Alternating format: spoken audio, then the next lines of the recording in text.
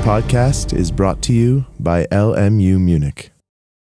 So even though my title is, um, is more precisely from the closed string point of view, that is uh, open um, strings will occur, but uh, I want to develop the story from the closed string point of view. And today we will talk about uh, symmetries of string compactifications. And the most, uh, the nicest one are actually uh, S dualities and T dualities. And we want to develop from the physics point of view a quick way into this very fruitful uh, symmetries. So symmetries of string compactifications is my first um, topic.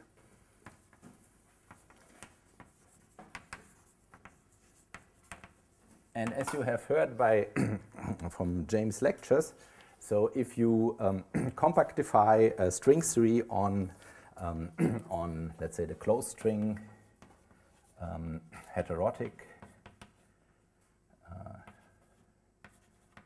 or a type 2 string,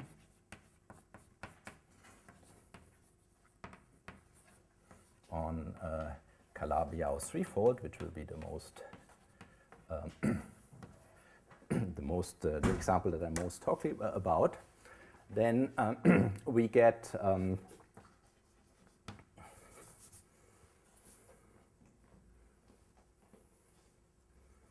gives us uh, n equal uh, 2 or uh, n equal 4 in four space-time dimensions. That's uh, because we have this covariant uh, constant spinors in 4D in four space-time dimensions.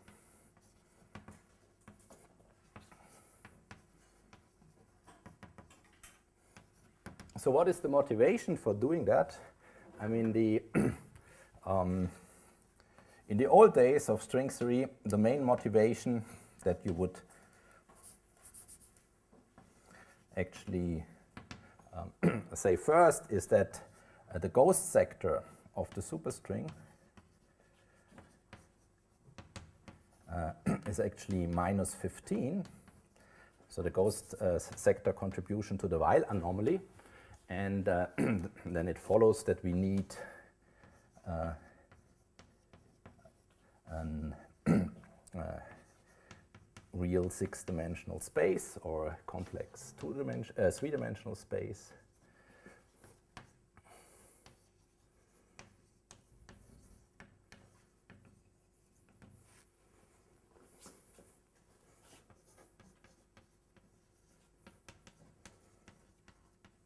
needed to cancel this anomaly, to cancel the Weyl anomaly.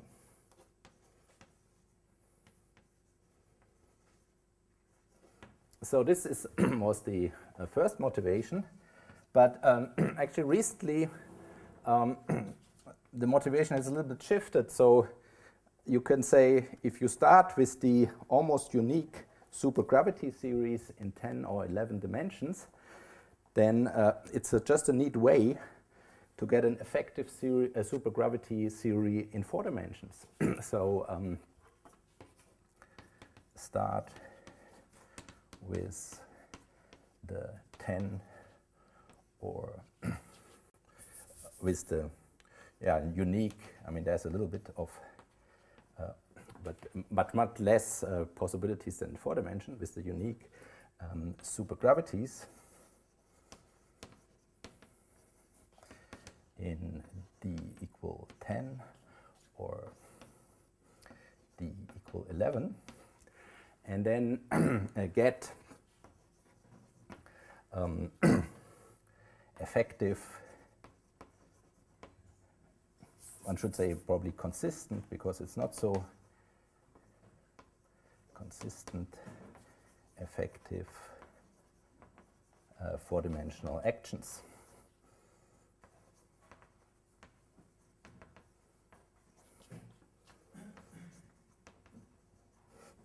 and calculate and calculate um, uh, the terms of these actions. calculate um, exact amplitudes.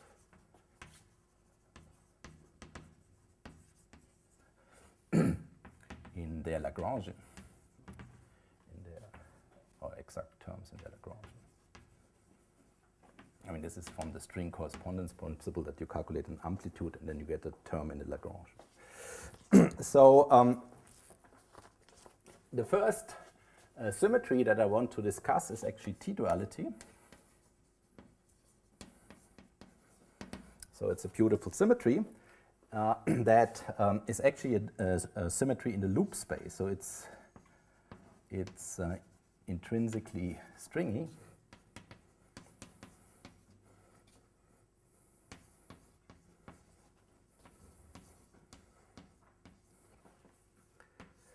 And uh, it um, comes if you take a closed uh, Riemann surface, maybe with some uh, punctures, and you map it in this uh, target space M, which is the Calabi-Yau. So this, let's call this M, in general, the target space. And uh, then you could uh, consider correlation functions in order to calculate, for instance, exact amplitudes. So you would put in some vertex operators in a correlation function. and uh, these uh, things are given by a variational integral over uh, the metric on the worldsheet. And then this map that we consider. And then this is weighted by some action. And uh, the correlate uh, the vertex operators are inserted into this variational integral. So that is the thing that we want to calculate. And uh, what the action what the action is. So the action is we can take the bosonic action. So it would be like this. And then it is uh, like uh, G I J minus B I J D X J i, and then contracted over the worldsheet in, this, uh, in the indices. And uh, then there will be also a term uh, uh, pi times an integral over the curvature and the dilaton field. And then there would be fermionic terms that we don't write out normally.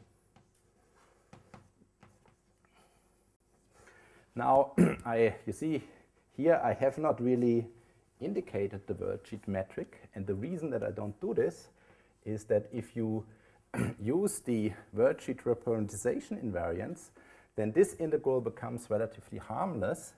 It becomes actually a sum over the genus. Um, so it becomes a sum over genus. And then for every genus, you have a moduli space of the worldsheet and you have uh, an integral over this moduli space of the worldsheet. But the big difference between this integral and this integral is that this integral, of course, is infinite, but this integral is finite. So that's a finite integral.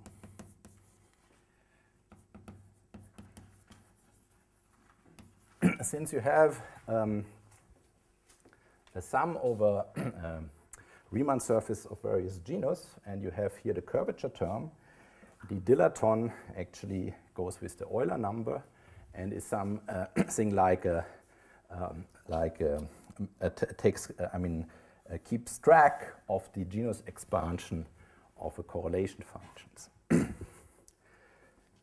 now, I want to calculate the simplest um, um, uh, string compactification uh, namely, um, I want to, uh, to be M to be S1 of radius R. So this uh, target space is now an, a circle of radius R.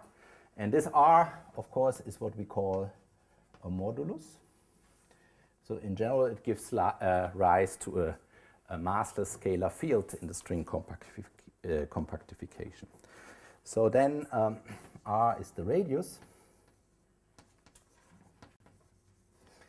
And um, if we um, now uh, look uh, at the, I mean, I, I, want now to calculate the partition function. So so we want to calculate the partition function.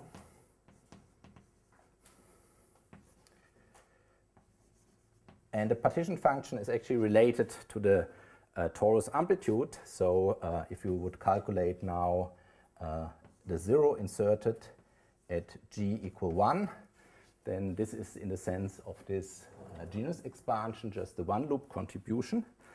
And uh, I wanted to have it uh, unintegrated. So here you would have to integrate over the fundamental region of the, um, of the um, of the torus, but I wanted to have it unintegrated. And then it becomes a function which depends on uh, R and the complex modulus of this, uh, of this torus uh, that, I'm that I'm considering.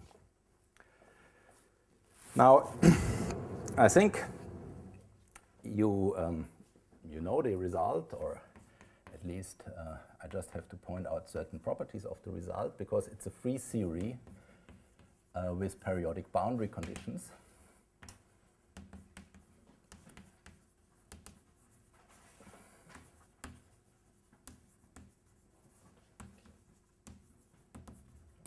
So basically you said x uh, has to be identified uh, with uh, 2 pi r if um, you go with the worldsheet coordinate um, to with the, with, with the worldsheet, if you go once around the worldsheet. And, uh, and that means uh, that that is essentially just a free series with these boundary conditions. And the consequence is that we can actually write down an expression for z, which is um, r times uh, the string length times uh, T2 times eta uh, 2. And then there's a sum over uh, worldsheets instantons, if you like. Uh, and this is weighted by the instanton action um, in this form.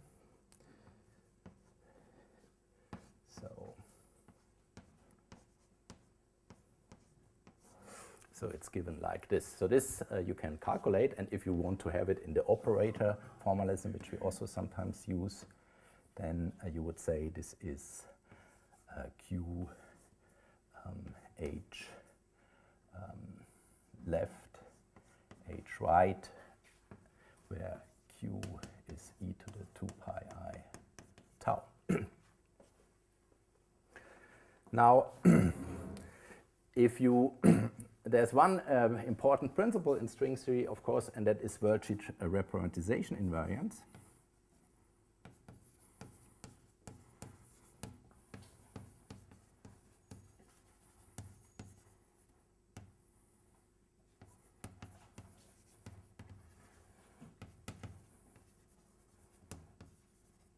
And so what I want to discuss is the one, are the large worldsheet transformations. So you have this worldsheet torus here, and you want to uh, consider um, gamma naught, which is SP SL2Z.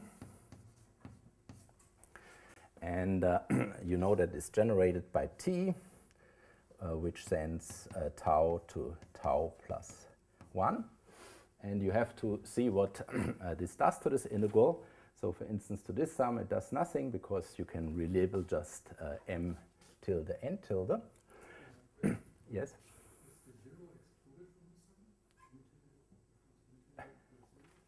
Um, no, the zero is not excluded. so then um, the um, so you you um, you can uh, check what this happens for consequences. Uh, so then, for instance, uh, T2 which is just the imaginary part of tau is of course invariant. And the Dedekind eta function um, transforms with a phase, uh, which is 2 pi i over 24. And that doesn't matter because the Dedekind eta function comes with um, its, um, its um, complex conjugate here and the phase cancels. So that is okay. and then the S transformation Um, well, this sends tau to minus 1 over tau. Now, if you look what happens to T2, T2 actually um, does something, uh, I mean, it goes to, the, uh, to uh, minus T2 times the absolute value of tau squared. And then uh, eta minus t goes to um, some, I mean, it's a weight uh, 2 object, so it uh, transforms like um, minus e tau um, eta tau. And you see, if you look at this, then this combination is precisely invariant uh, because this um, gets a shift by this one, and this gets a shift um, in this form. And so this is, um, so we have in particular uh, that square root tau 2 uh, eta is invariant. And now with this sum, it's a little bit more complicated. You can imagine if you uh, have here this 1 over tau, but you can make a Poisson transformation and find that it's okay. So uh, the sum, for the sum, we have to do a Poisson transformation.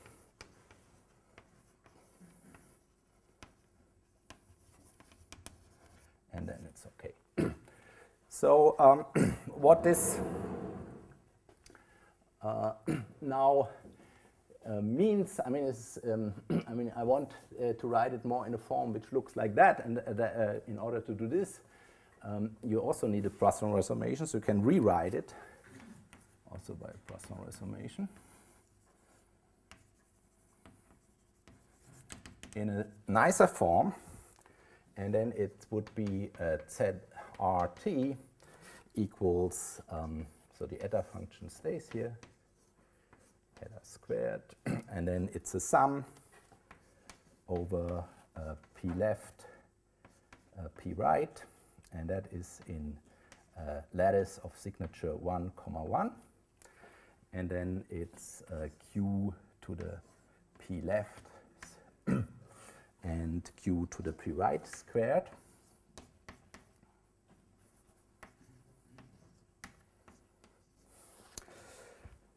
So that's, um, that's a form which um, is very su suggestive if you know what this P are. So you have PL right is nothing else than 1 over um,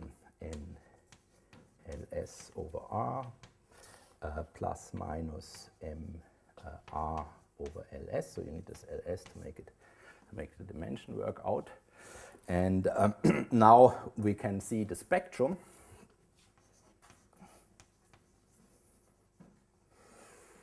Um, the spectrum would be um, uh, for the mass operator.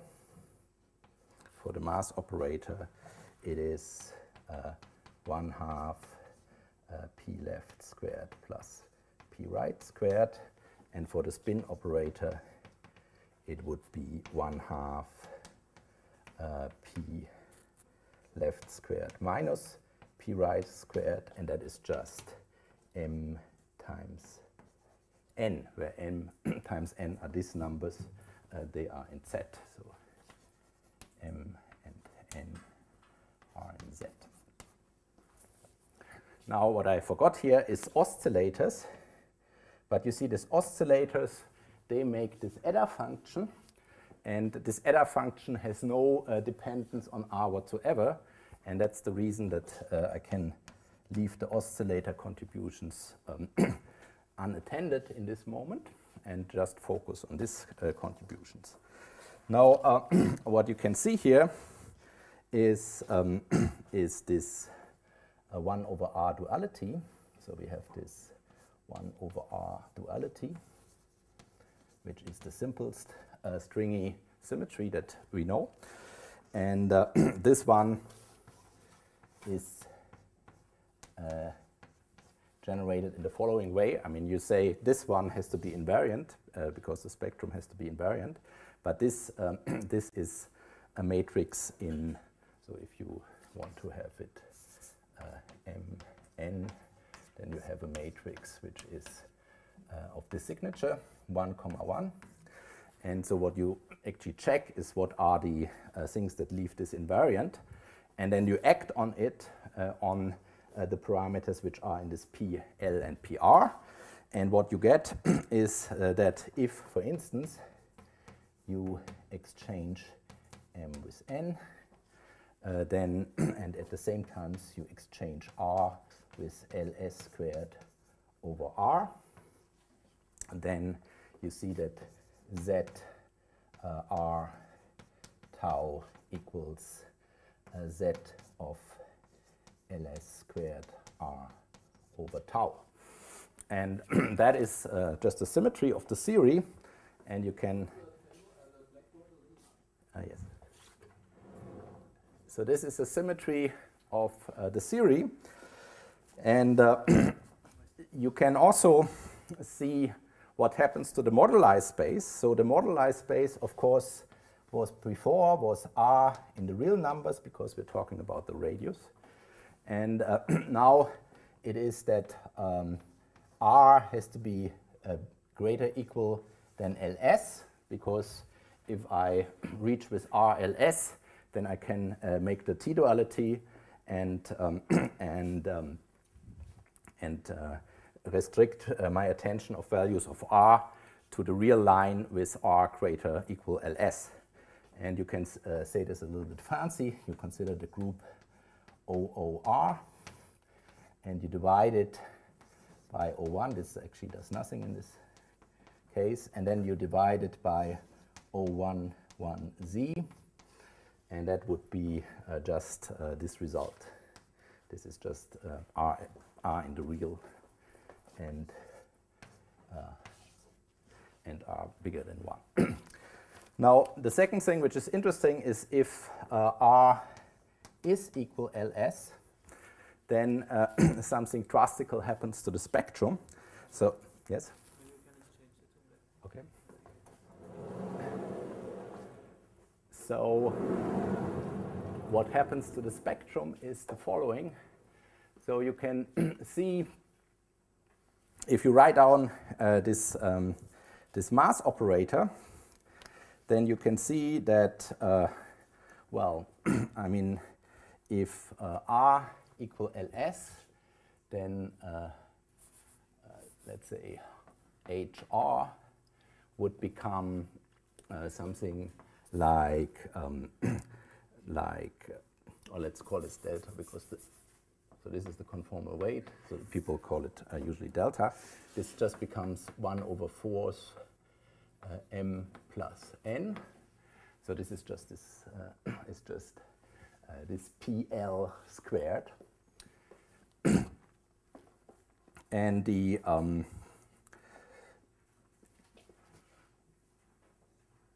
and then the um, the, um, uh, the, uh, the, dual one actually uh, would be, well, I mean, anyway, if n equals n equals plus minus 1, and let's say delta bar equals 0, then you get a new current. Sorry, this is a, a squared, of course. so this is just PL squared. Uh, no, let's, let's write. And then uh, this, uh, this other, this uh, right uh, momentum is zero. Then if this is the case, then uh, delta will be one. And then delta bar would be zero and that gives you a new current. And in fact, you can write down the current. Uh, you have always uh, a current uh, J3. This is always like is always here, dx, and then you have uh, new currents, which are uh, J uh, plus. And if you normalize them correctly, then they look like this. So they will be, well, I mean, let me write first the general form.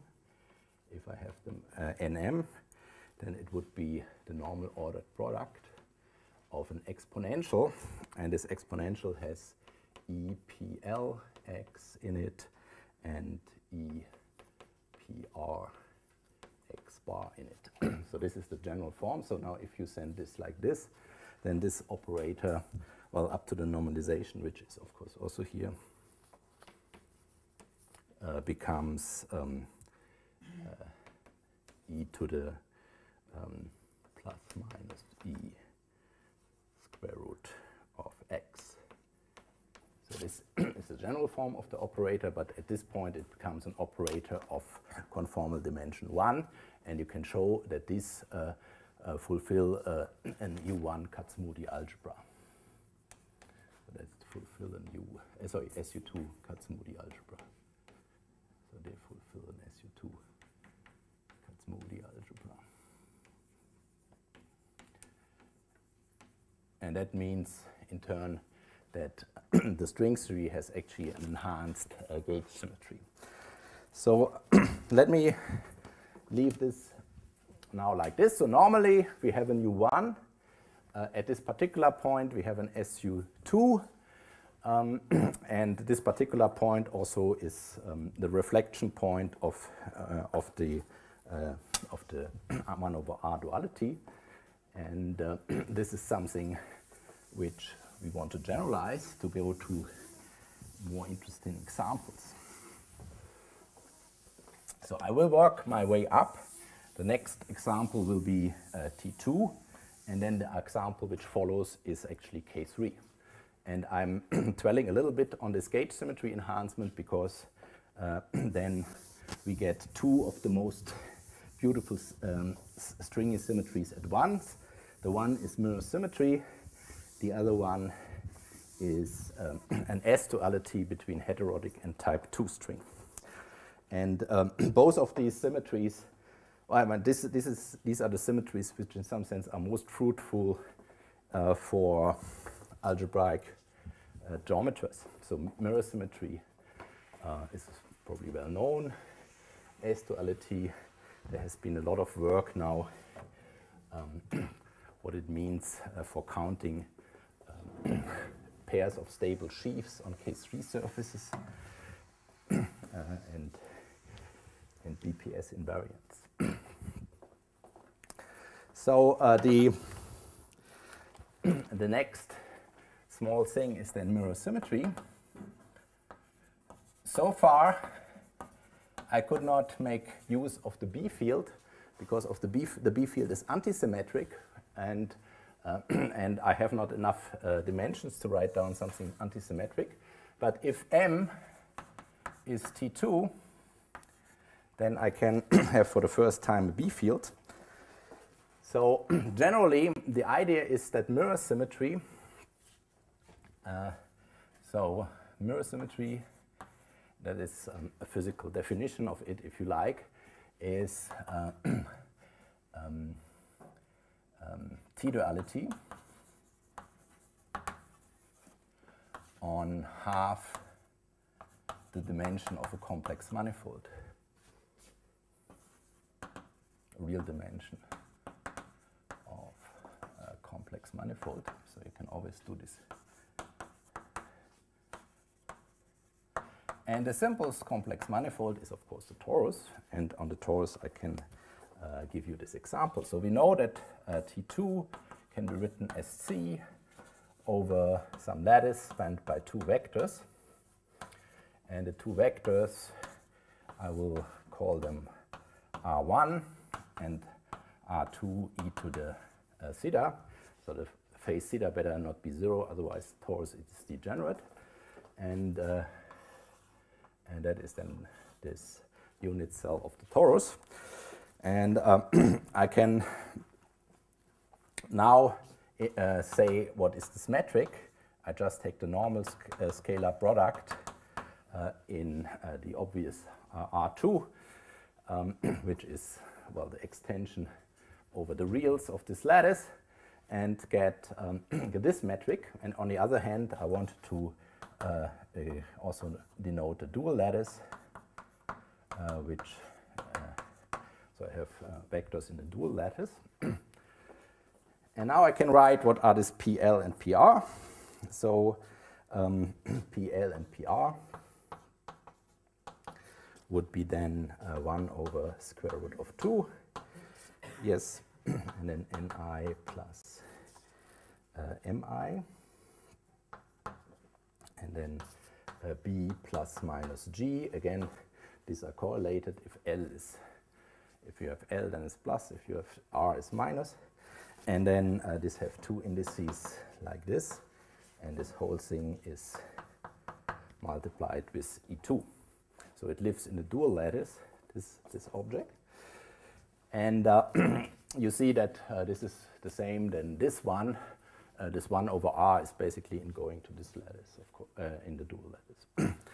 so uh, now you can um, have this B field. So this B Ej is basically uh, just B minus B is just one number.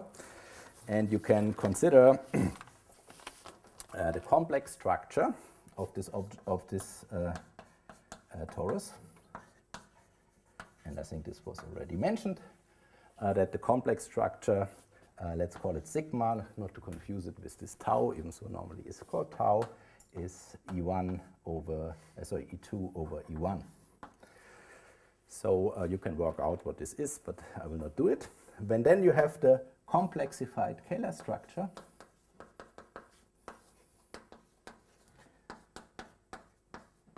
Kähler structure, and the complexified Kähler structure is usually uh, uh, denoted by this parameter t. So this t always stands for Kähler structure. And uh, that would be the imaginary part of the area. The area, of course, being uh, r1 times r2 times sinus theta. and um, now uh, here is the B field. So these are the two moduli, and no, now you see they, um, they combined nicely in a complex uh, parameter, which actually occurs in many situations as the vacuum expectation value of a vector field. So there's a scalar component, and in this scalar component, it would occur. now, what is, um, what is the, the moduli space? So we, of course, can just copy can I raise it? So the moduli space in this case, uh, I just have to copy here. So the moduli space on this compactification on T2 would be O2, O2, comma R, because this you can easily see is an uh, is um, so PL, PR are in a gamma 2 2 lattice. And uh, therefore, we have here O2 times O2. And here we have the um, uh, group which permutes uh, M and N, which are, of course, integers. So this is, um, is the moduli space. This part would be the Teichmüller space if you think about uh, um, complex structures, and that is then the fundamental uh, region. and indeed, if you do it, you can see that this guy, of course, is certainly in the complex upper half plane, and this guy is also in the complex upper half plane. If it's not in the complex upper half plane, you can, without restriction of generality, always bring it there. And therefore, you get here indeed two factors of the complex upper half plane modded out by gamma naught gamma naught is S, uh, PSL2Z. And uh, this is so to say for uh, T. Another factor is for, um, for sigma. But then there are two Z2s. One is worldsheet parity, and one is mirror symmetry. Um, so And we can also show that these two gammas plus this actually generate this one. So this is the whole of the discrete group. and uh, now uh, what is worldsheet parity?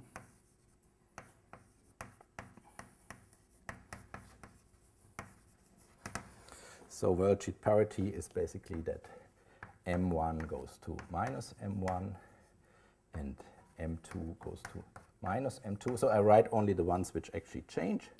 And then geometrically, uh, that means that b goes to minus b, and PL and PR is actually exchanged, as you can see from here, uh, to minus, uh, sorry, PL is exchanged to um, with PR. And um, and uh, and that's that's why it's called worldsheet parity. then there is mirror symmetry.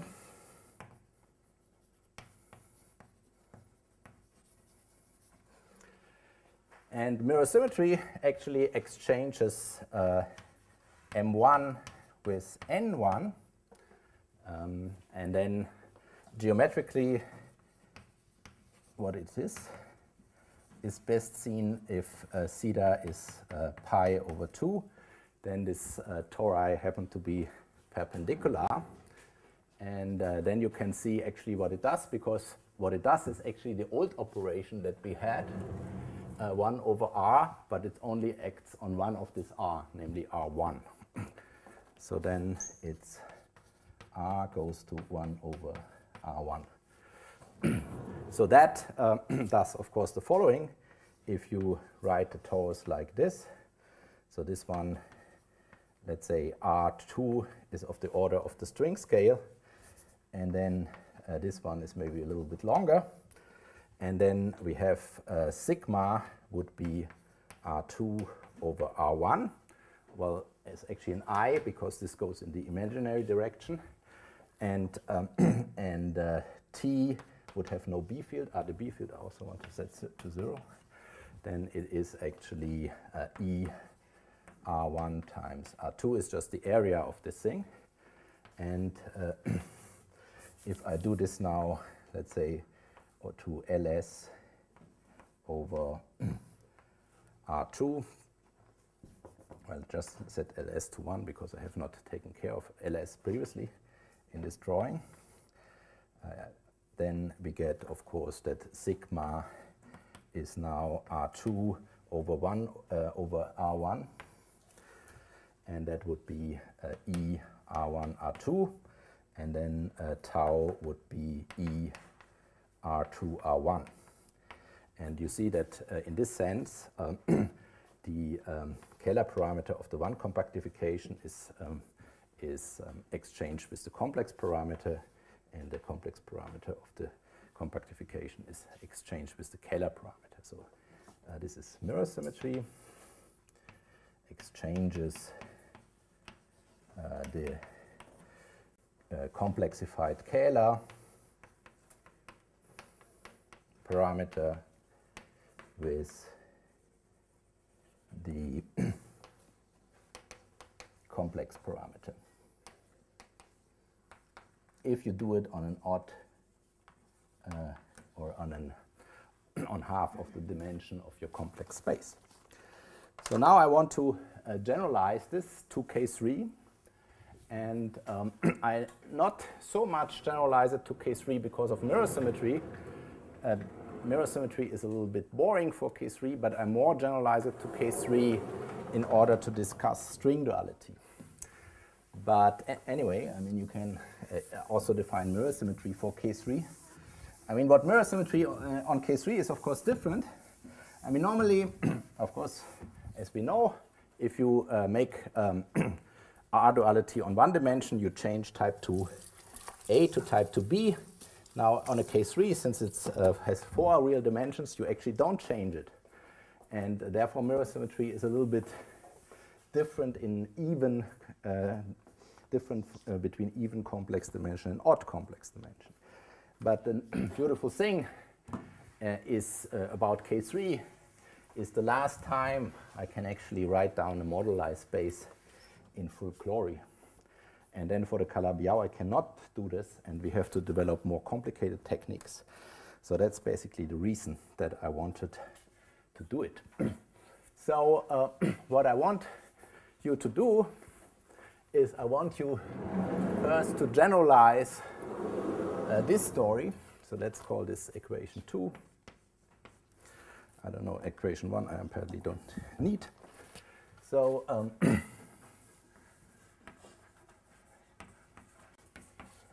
So we want to generalize uh, 2 and we want to generalize it uh, to Um, well, I mean, I don't want to keep the signature uh, usually uh, not to be uh, zero, but I want to generalize it uh, to arbitrary p and q. So we see that um, if um, in gamma pq, uh, p minus q, actually in my case always this one will be bigger, well it doesn't matter, uh, is uh, in 8z, uh, then uh, this uh, guy is actually modular. So then gamma pq can be even self-dual and self-dual. And that uh, is actually the condition that this trick with the Poisson resummation of this sum works. uh, and um, z um, tau will be modular.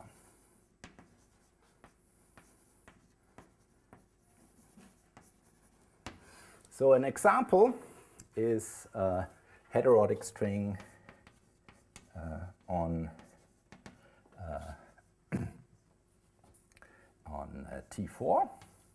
And for completeness, I take uh, the gauge group to be E8 times E8. And then, as we know, we get a lattice uh, which has uh, 4 uh, plus, 16. These are the two um, Cartan lattice of the E8 plus the 4 of the left moving momenta. And that is um, a nice uh, situation. So what actually uh, is the moduli space. Well, the moduli space is not hard to derive. So what you can do is you can write gamma pq uh, and you extend it. I mean, this was a this was a lattice in set. You just extend it over R as being a, um, a 24-dimensional space, and then you write it so that uh, this guy is um, is uh, time-like, so, uh, sorry, light-like. So making something light-like is particularly easy if you um, if you remember this guy, because if I just set all the windings to zero, this guy will be already light-like. So uh, this will be just the momenta. And then I take the dual space, and the dual space is the one where only the windings are turned on, and that's also light-like, uh, but it's dual to this. So these are the windings. And then I want to find the remaining subspace so that this becomes the real extension of this lattice and this I call uh, V. And this will be a time-like. So this will be a time-like plane, like uh, plane. Uh, and of course the dimension uh, will be, so it's essentially like um, the difference between, where's the q now? Okay, the q is here, q minus p.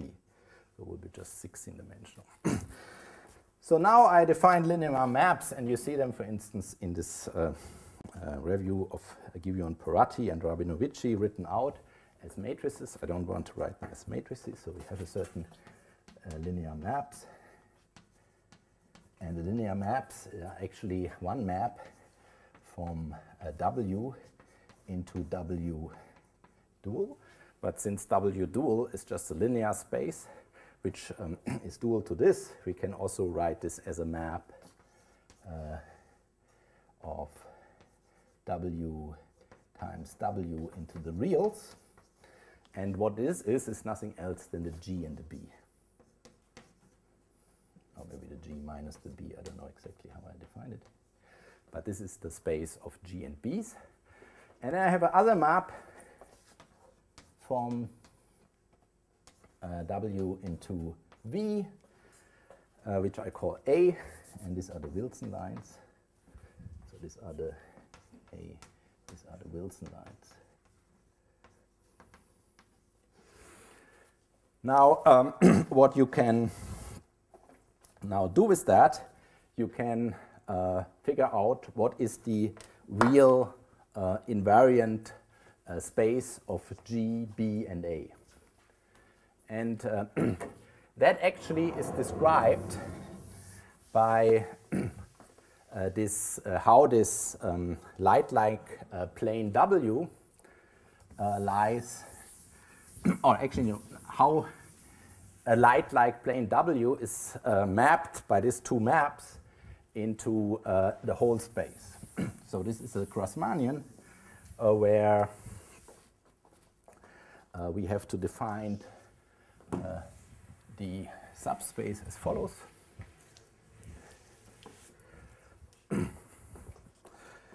so that is uh, simply a Grassmannian.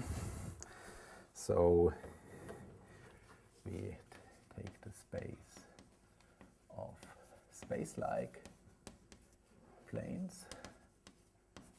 Uh, and that would be just uh, pi, which is x, and then it's uh, phi x plus ax, so this maps it into this whole space, and here x is in w.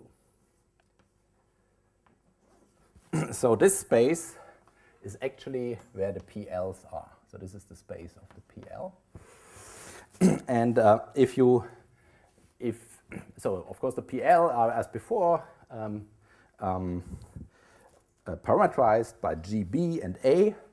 And uh, if you uh, think about what is the degree of freedom, it's just the degree of freedom by this linear maps to rotate this plane inside of the whole plane. And therefore M would be in this case uh, just OP comma Q and then O uh, over the discrete group OPQ. um, Now, let me follow at this point a little bit uh, the review of Aspinwall because now I want to come to uh, K3 and if you want to read more about it, I would uh, suggest you Aspinwall's review. so what is um, what he noted, or what, what is uh, written in his review, that on a K3, if you uh, solve the same problem that H.G. Uh, James was addressing in the morning, uh, just uh, take a Ricci-Flat metric on a K3 and deform it, then you can write the, um, so the deformation space of Kähler-Einstein metrics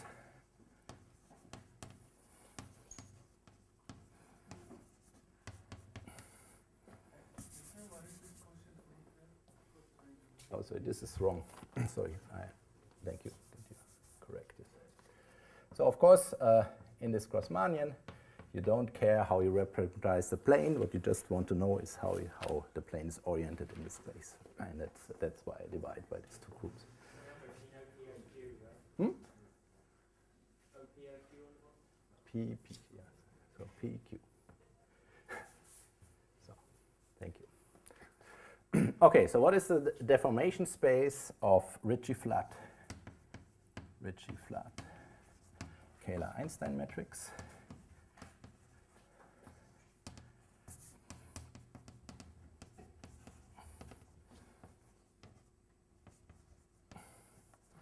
Uh, in uh, the complex dimension 2? Well, I mean, you can work this out. So roughly speaking, you would expect something like, okay, you consider uh, g plus dg, and that should be still zero.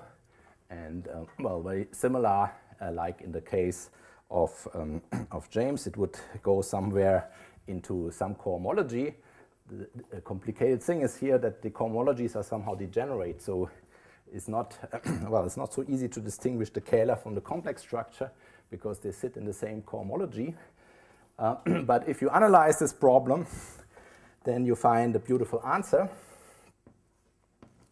And the answer is that it is O uh, 3, comma 19, uh, and then 0, uh, 03 times O 19, uh, modded out by the automorphic automorphism group of 3 19 in Z.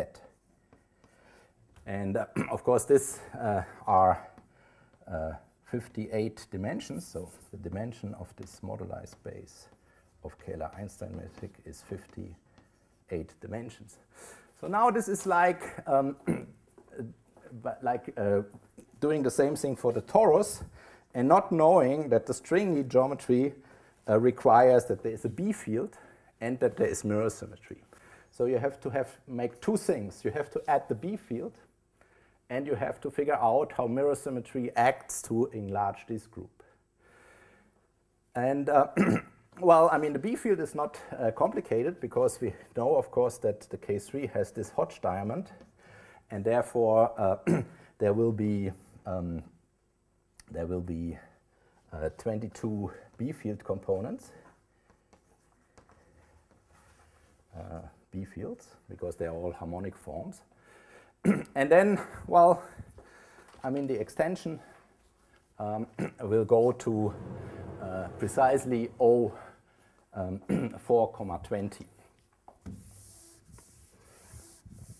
So it's essentially like you did in the torus, you add to the T parameters your B field, you try to figure out what um, the automorphism group is if you uh, look in this um, in the what you can exchange now if there's other uh, discrete symmetries and you find that this is that the answer is like this.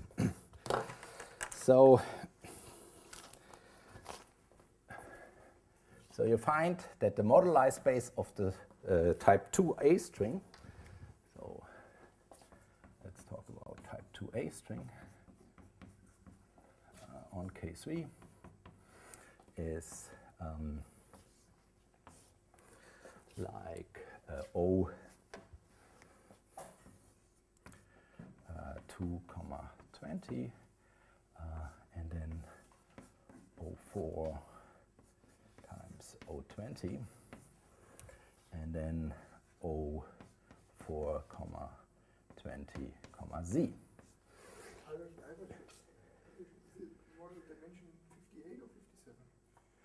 Uh, yeah, you have the volume in addition. You are right.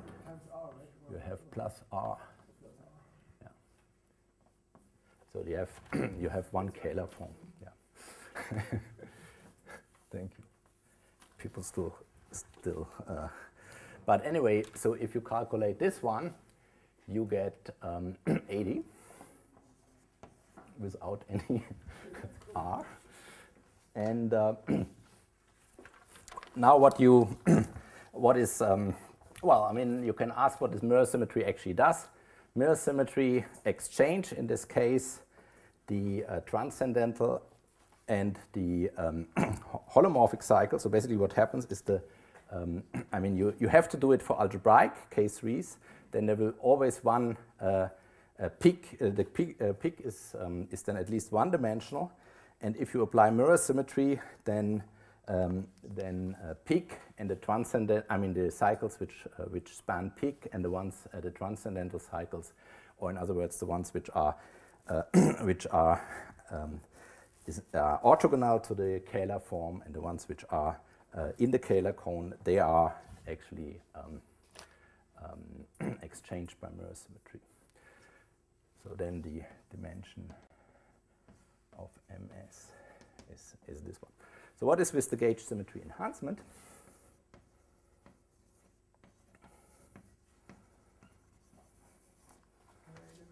Yes? This is the volume form, the overall volume form, yeah. so the gauge symmetry enhancement, well, I mean, now you um, can first convince yourself that uh, type 2a has uh, a gauge group u1 to the 24. I don't want to actually calculate this because it's late. Um, and the heterotic string has also uh, a gauge group u1 to the 20 generically. But now comes the beautiful fact. So if you, you can, of course, get um, chiral currents. So here we can get chiral currents. uh, if uh, PL is equal zero. And then uh, the dimension uh, here of P PR has to be, I mean, the dimension that comes from PR has to be 1. Heterotic is on T4, right? Heterotic is on T4, yeah. And uh, now you can uh, say what this means uh, geometrically. So basically, it means if you look at this formula, well, actually, if you use go from uh, from this metric, which looks like is like this, to uh, the metric which is actually like uh, this, you get here an i. So therefore, what you need is actually that p r uh, pr is uh, minus two, and remember then there was uh, one, one on the dimension, so this one uh, is now negative, and so this one has to be minus two and that is minus delta bar. so minus 1, and this is minus delta bar. So this, in other words, uh, P r has to be minus 2. So then you get a current, and you can easily say when this happens. This uh, just happens if um, there is an there are alphas in this lattice well, let's uh, suppose it's in this lattice uh, 1 comma 19 over r. Well, no, it's in the lattice actually. And then it's uh, orthogonal to the three plane that is, that is uh, this one. then if there are such alphas, uh, then you, well, here it's clear you get a current, so we get, we get a j um, let's call him also alpha plus minus alpha. And that uh, with, um, with uh, the U1s uh, give rise to a gauge symmetry enhancement. and now if the, if the, um, if we have the uh, condition that, um, well, let's, uh, let's write it, let's write it, okay, let's, let's write it so to say in table form. So let's write it here. So let's call, well, let's call PR also alpha. So what, what, what should happen here is that uh, the alpha i should be in the lattice, of course, uh, but they should be uh, orthogonal to this plane that I have just, uh, they should be orthogonal to the plane that I have just defined. And uh, now, if they are like this and have uh, alpha i, alpha j is um, minus the Cartan matrix uh, of an ADE group, then you get an ADE singularity. hmm? oh, yeah, okay.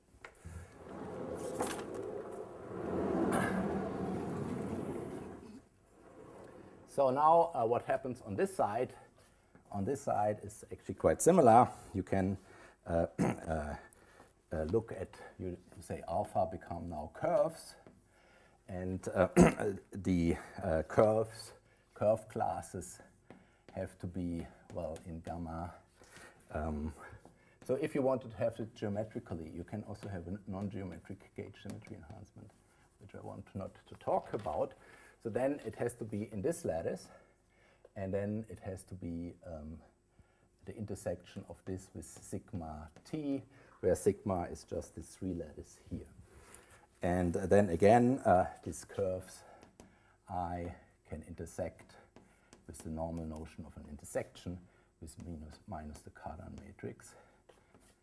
And, oh, well, this of ADE and that leads to the gauge enhancement. So not only you know uh, that it's the same mechanism, basically, but use also the same position in the moduli space because you have identified the moduli space. so that um, uh, the difference, of course, here is just the stringy Higgs effect. You get these new currents. While here, what you get, you get um, D branes.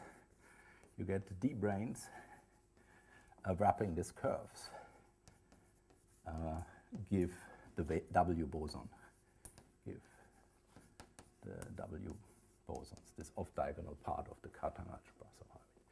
So, so the the um, the um, the thing in the Cartan subalgebra we had all the time, but the thing which was not in the Cartan subalgebra we get um, by this mechanism.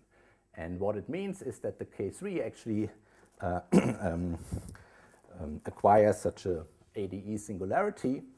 And uh, of course, you know in two dimensions, these uh, canonical singularities are classified. So either they are orbifolds with uh, subgroups of SU2, discrete subgroups, or uh, they are given by these Du Val singularities, uh, which you can write easily down. And all this have a canonical uh, resolution. That means the canonical class doesn't change. And that means they can, uh, in the other direction, they can occur on a K3. So now, what is the bad thing here? And that is what I want, so to say, is one really nice result, um, which only recently get proven. So the bad situation is actually the bad situation and how you overcome the bad situation. The bad situation is that you can say this state this as a conjecture now that heterotic on uh, uh, T2 is equal to um, uh, sorry, uh, heterotic on, K, uh, on uh, T4 is equal to type 2 string on a K3, but you're never going to prove that. Why are you never going to prove that? Because, uh, you know, so there is, of course, the claim that uh, heterotic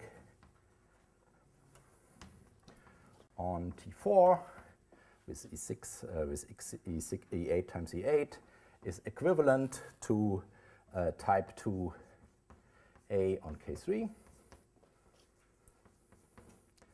But the problem is, so seriously proving this claim is uh, extremely difficult because you know that the dilaton gives the string coupling in string theory. So this is a generic dilaton. This was this organization principle in the loop expansion. But if you look in the dilaton of the type 2a, it's actually minus the, the heterotic string in this identification. That we know. Otherwise, this whole thing would not work in the first place. And that means if the heterotic string is weakly coupled, because this is um, large and negative, then the type 2 string is strongly coupled. So you can never prove it. So you can see on the, based on the moduli space, okay, it looks very good, and um, and it's likely, and uh, and so on and so forth. But in the uh, in the framework of the full string theory, it's extremely hard. So what do you do when you have this situation? So you go to the BPS states. So if you have this situation, you search for BPS states that you see on the one hand side, and then you compare them with BPS states that you see on the other side. And it is, um, well, I mean, I think I have to stop, but um, I will explain you next time why, uh, what, uh, why this uh, check, why the uh, heterotic type 2 duality survives this check. And this is actually recently proven in a paper uh, with uh, Pande and Maulik and Scheidegger. So this is the first result that I want to make contact to algebraic geometry. Oh, that's good. So let me, in this case, I was, ah yeah, I was thinking. Okay, then this is beautiful. Then I can at least finish this one. So, um, so well, I mean, so this is a weak strong coupling duality.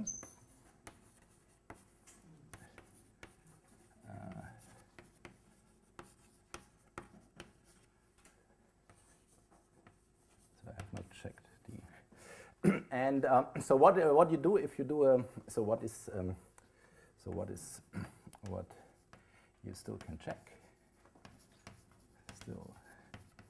can check are BPS states.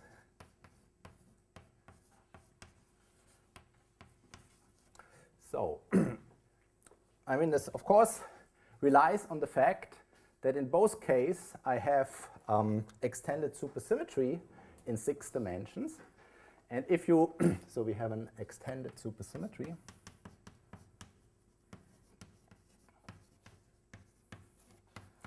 in uh, space-time. And uh, now, what is an extended supersymmetry?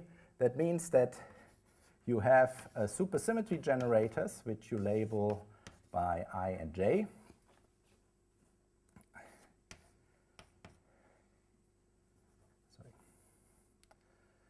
So, so now we have here indices, and then you have e beta, and then set ij, and here um, zij equals is antisymmetric, ji. So this is the one part, and the other part, let's say if you are in the rest frame, then you have uh, q alpha i uh, q uh, beta dagger. And then you have uh, 2m, this is the mass. Call it small m. And then uh, you have uh, d i j and d alpha beta. So this is in the convention of Wess-Bagger, where you can raise and lower these things with epsilon uh, bar unbar. That's why they here they come out unbarred. And now if you have such an algebra, then uh, for any particle,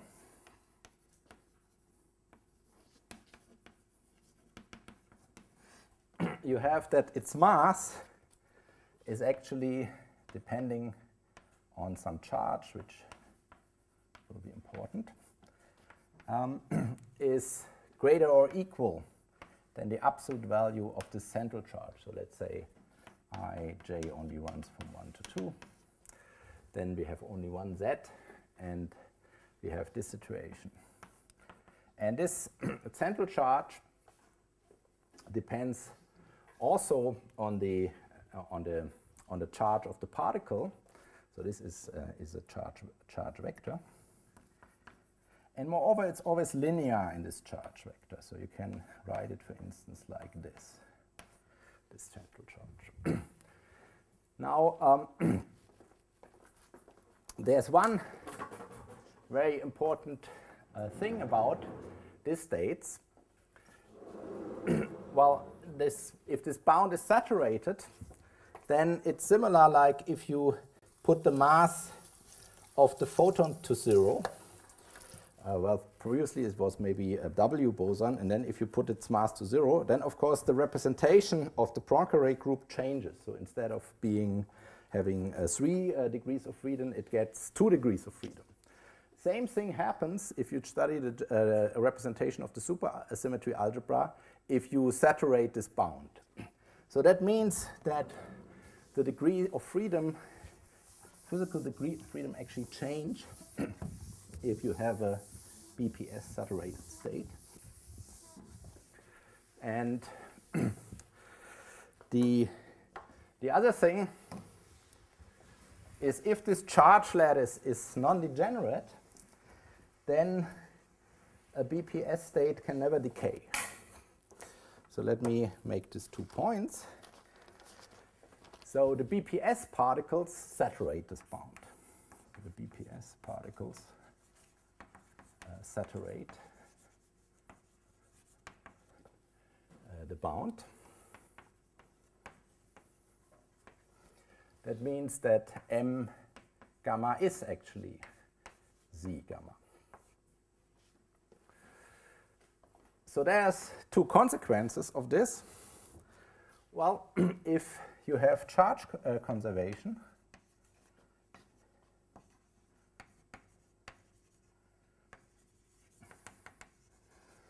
and if the charge vector, so, and if the, if, um, let's say, gamma is prime, is a prime vector, so it cannot be. So this is a, I, I think it's, a, it's of course a charge vector in a lattice.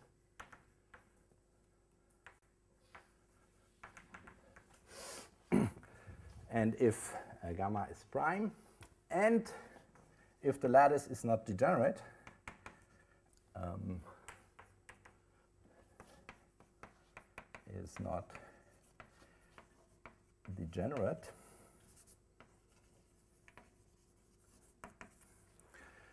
then the BPS particle cannot decay.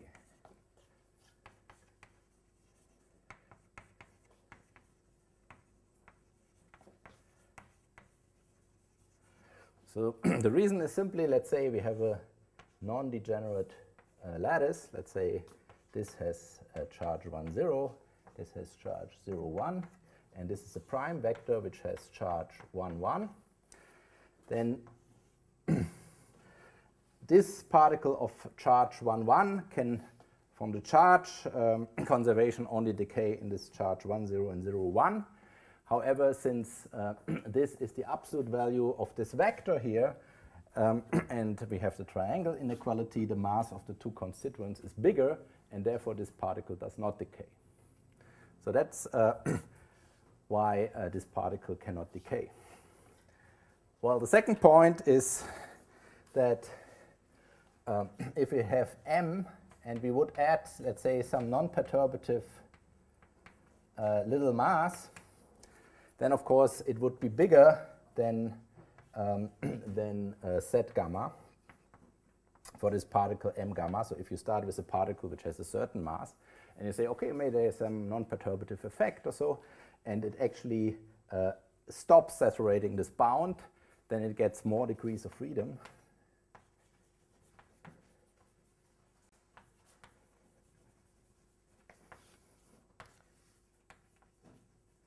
And that is at least uh, uncommon in, in uh, physical phenomena. So this is uncommon. I don't know whether it's really impossible. Well, it's sort of a phase transition. Well, this is really uncommon without being a phase transition or something. So if um, you assume that uh, nothing something that drastical happens, then you would conclude that these particles are stable. And uh, for these reasons, uh, if you don't know uh, what happens with the duality because you are in this very bad situation, then you better look at the BPS states. So now how do you look at the BPS states? So of course, we look in the BPS state for the heterotic string because the heterotic string is perturbative. So it's a piece of cake to get the BPS states. There's no problem with it. And then we look in the BPS states on the type 2 side, and it's going to be a mathematical, very, very non-trivial prediction. And it's actually a prediction about the moduli space of stable pairs on the K3, which, um, which is sort of could only recently be proven. So let me uh, tell you uh, what are the BPS states on the heterotic side.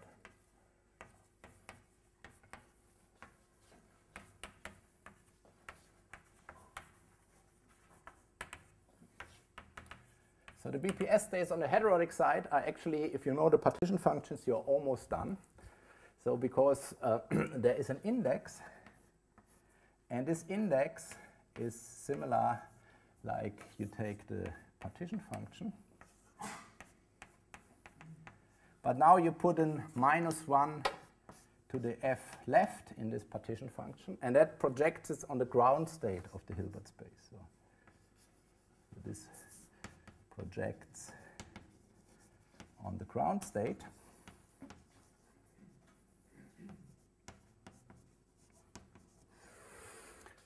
Now, um, what, uh, uh, but then you have also level matching.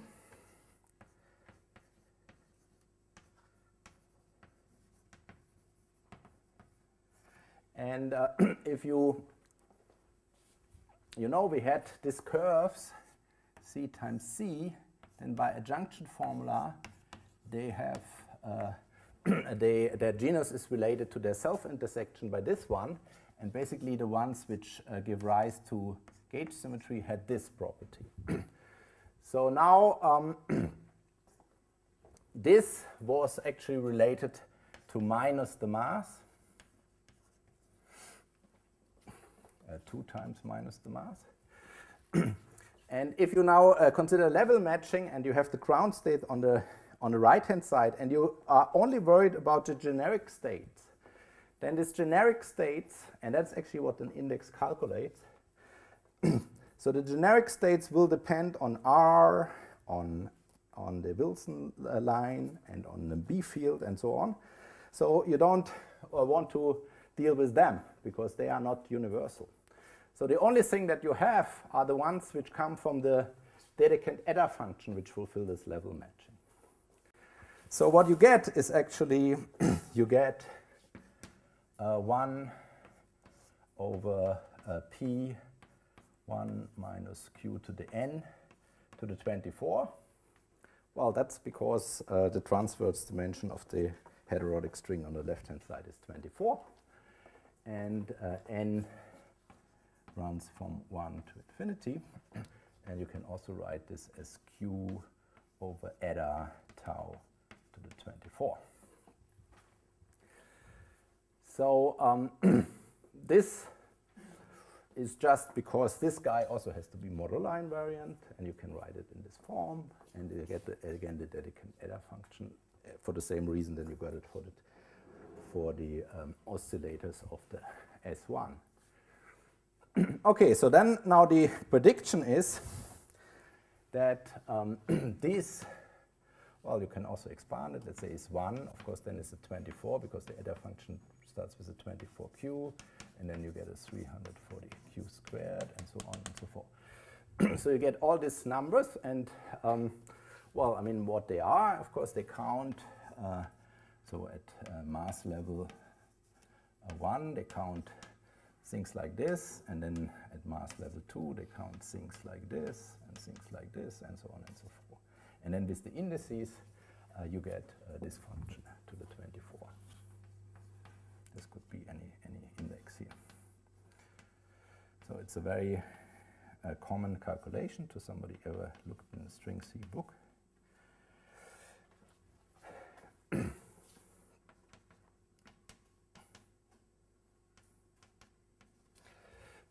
And now what, what the claim is by, um, actually the first who made this claim were uh, Yau and Zaslow.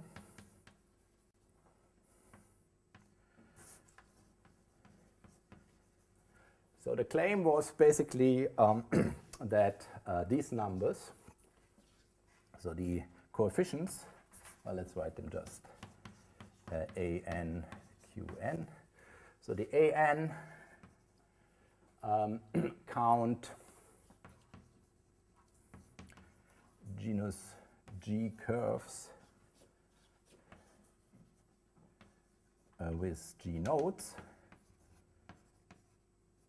And this is a very was a relatively unprecise notion, but it's clear that from the string theory point of view, it's clear they cannot come from the worldsheet because uh, as the gauge theory does not come from the worldsheet, uh, but rather comes from a a D2 brane, uh, things which wrap this higher, I mean, if there is a BPS state in space-time, which is somehow uh, associated to these curves, and we know that it's associated to these curves, uh, then it must be um, an D, D2, D0 bound state. So, so the more precise physical way to say it, and this is actually what one can make also, um, so physical is, is, um, is, um, is, the, is the Euler number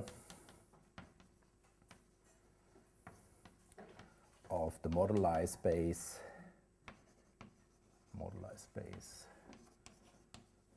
of D2, D0 branes.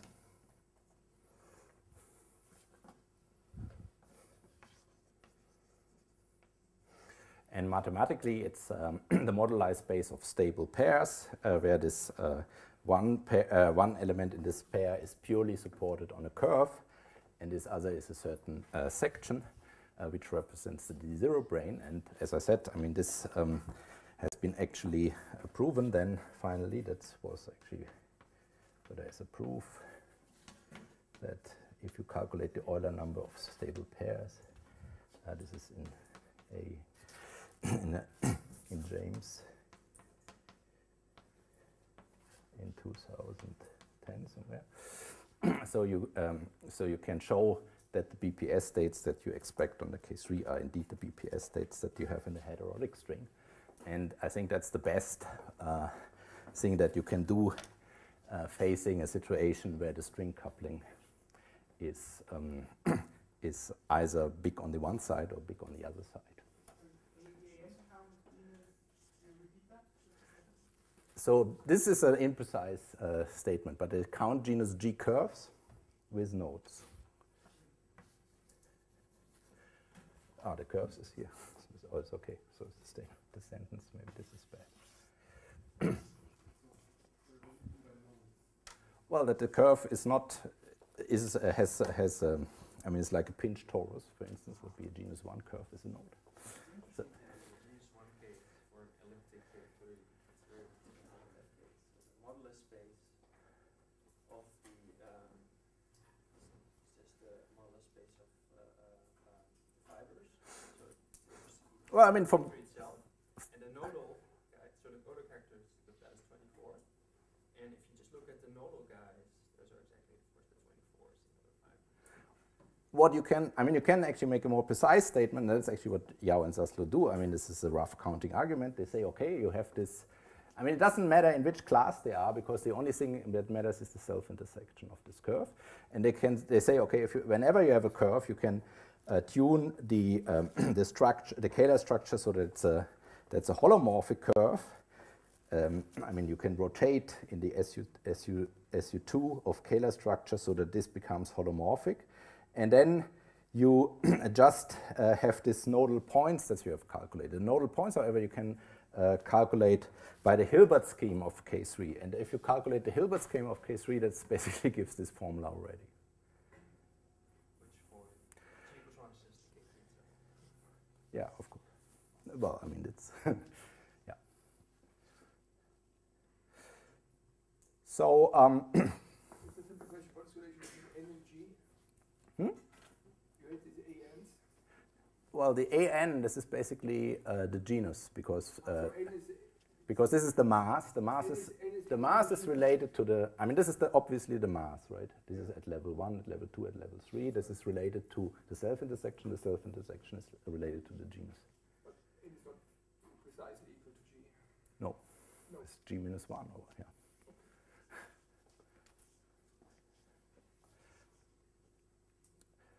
Okay, so then, um, well, the next thing is, so the next topic is clearly going, so this is all, this is, well, we, we worked our way up, we worked our way over the torus, that was mirror, or let's say over S1, said what mirror symmetry was there. Then we worked our way up to K3, um, said what mirror symmetry is there, but then, since we're talking about uh, uh, stringy symmetries, it was uh, very hard to resist to actually explain you a string duality.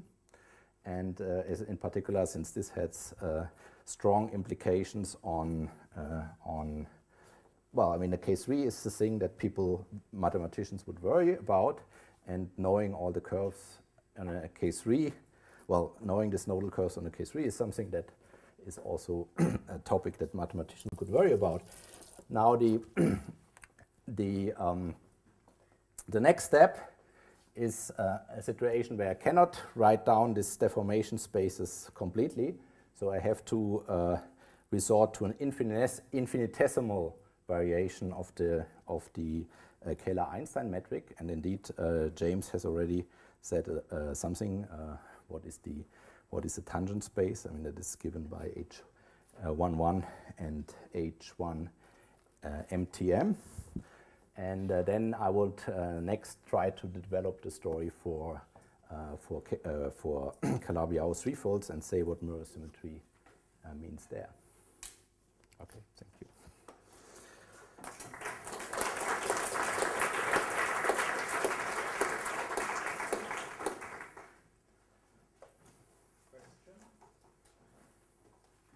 Can we not think what Pareto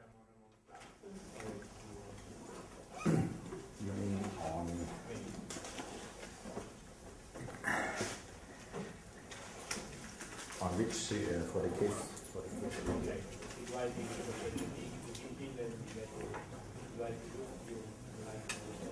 Oh, I mean, uh, okay. I mean, in some sense, it's, uh, it's indeed, uh, indeed. If I would talk more about the, well, I mean, I talk a little bit more about the hyperplanar model aspect, but um, but in the vector model, vector. I mean, basically, my my uh, my idea is, is so to say to talk about Ramond fields only if they if they uh, say uh, have an effect on the closed string model. It's a bit um, poor approach, but um, I mean, here it was obvious. We had uh, enhanced, enhanced gauge symmetry, and uh, there is a singularity in the moduli space. I have to say what happens. Um, and this will be uh, all the way in mirror symmetry. So when there will be some single, when there's some special things happen in the moduli space of the closed string, then I start worrying about the open string. Then I say, oh, this comes from this and this state, and I want to know what it is. But I don't talk a priori about open strings because then I think actually Balash